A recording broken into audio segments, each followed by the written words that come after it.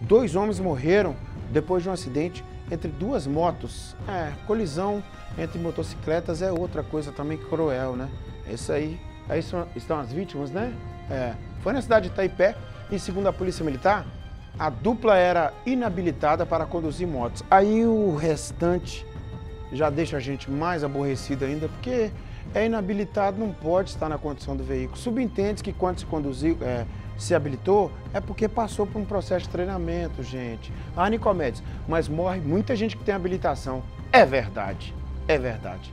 Mas a regra diz, né? A lei diz, não pode conduzir sem habilitação. Você que vai me contar lá de Itaipé, Antônio?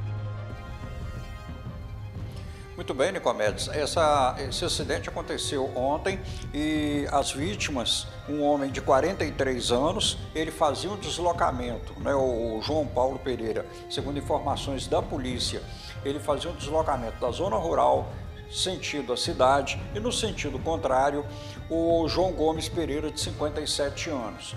O detalhe é que o João Gomes, ele inclusive foi socorrido ainda com vida por uma equipe do hospital da cidade de Itaipé, mas infelizmente, devido à gravidade dos ferimentos, não foi possível salvar a vida dele. No local ficou o corpo do João Paulo, nossos sentimentos aqui também às duas famílias e, segundo informações, o motociclista deslocava da zona rural para o centro da cidade quando, por alguma razão, ele perdeu o controle do veículo e acabou atingindo o, o, a outra moto que vinha no sentido contrário. Preste atenção, Nicomedes, que é um, um trecho não pavimentado, é um trecho de terra e isso também aumenta ainda mais a questão da violência da batida, colisão frontal entre duas motos mas não se sabe o que aconteceu.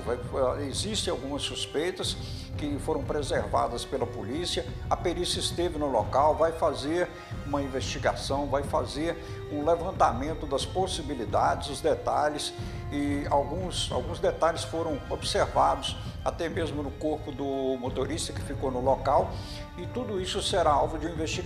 O importante, Nicomedes, é que as pessoas prestem atenção ao fazer esse deslocamento e principalmente moto em pista de terra. Nicomedes, eu sinceramente, eu, eu, eu, eu tenho verdadeiro pavor, detesto dirigir em estrada de terra.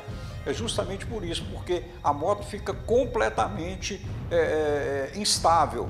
Então, a todo momento você tem que estar com a atenção máximo possível além do necessário, você ainda tem que ter uma cota específica por causa disso. E outra questão é o que você citou aí. Os dois motoristas não eram habilitados para dirigir motocicleta. Então, quem faça pelo processo de habilitação para dirigir uma motocicleta, ele foi treinado, ele foi condicionado, ele foi informado dos riscos, além de ser habilitado, a pessoa ainda tem que fazer um curso de direção defensiva, que é sempre importante, porque ele, ele diz, ele informa como você pode evitar um acidente em três segundos, Nicomedes. Então isso precisa ser realçado mais com os motoristas. É, eu, já não, eu falo aqui no curso de direção defensiva, mas tem motorista que fala, mas o que, que é isso? Eu nunca vi isso tem uma geração agora que não passou por esses cursos. Ah, mas está inserido na grade da, da formação dos profissionais hoje, do Centro de Habilitação de Condutores. Isso tem que ser o motorista tem que prestar atenção nisso, Nicomedes, justamente para evitar acidentes. Então, está aí o registro. Infelizmente, o índice de mortes nas estradas aqui do Nordeste Mineiro está muito alto e a gente todo dia tem que falar aqui, pedir aos motoristas para ter atenção, ter calma, ter cautela ao dirigir, né, Comedes? Tá dado o recado, Fantônio. Tá dado o recado, né? Nossos sentimentos aí, as pessoas envolvidas né, e, e mais prudência no trânsito, né? Você falou da direção defensiva, é nela que a gente vai dizer, né?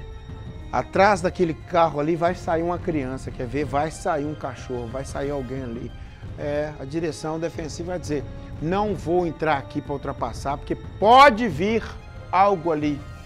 A direção defensiva vai falar: não vou passar ali não, que aquele bambu vai cair na pista. É, por aí vai. Por aí vai. É.